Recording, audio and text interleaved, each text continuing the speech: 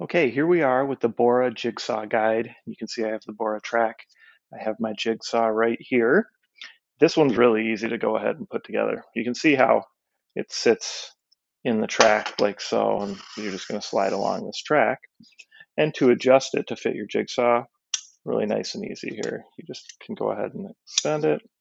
So we just would set the saw in here, and then just make sure that you're in there snug.